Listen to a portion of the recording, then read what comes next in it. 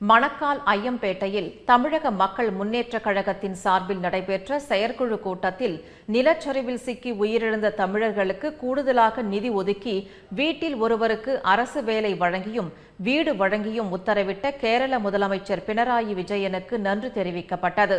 திருவாரூர் மாவட்டம் மணக்கால் ஐயம்பேட்டையில் தமிழக மக்கள் முன்னேற்றக் கழகத்தின் சார்பில் செயற்குழு கூட்டம் மாவட்ட செயலாளர் ஆரோக்கிய செல்வம் தலைமையில் நடைபெற்றது. கூட்டத்தில் நீடாமங்கலத்தில் டாக்டர் தமிழின வேந்தர் ஜான் பாண்டியன் தலைமையில் நடைபெறவுள்ள முன்னூறாவது நாள் கருப்பு சட்டை போராட்டத்திற்கு பெருந்திரளான மக்களை அழைத்துச் செல்வது குறித்து முடிவெடுக்கப்பட்டது.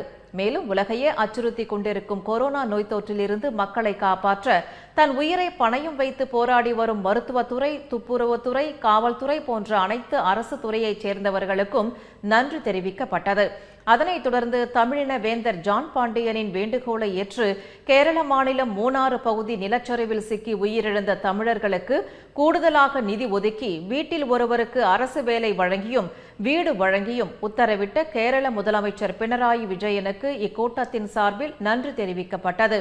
கூட்டத்தில் சிறப்பு அழைப்பாளராக திருவாரூர் நாகை மயிலாடுதுறை மண்டல செயலாளர் டாக்டர் பட்டாபிராமன் மாவட்ட தலைவர் பாவா உட்பட நூற்றுக்கும் மேற்பட்டோர் கலந்து கொண்டனர்.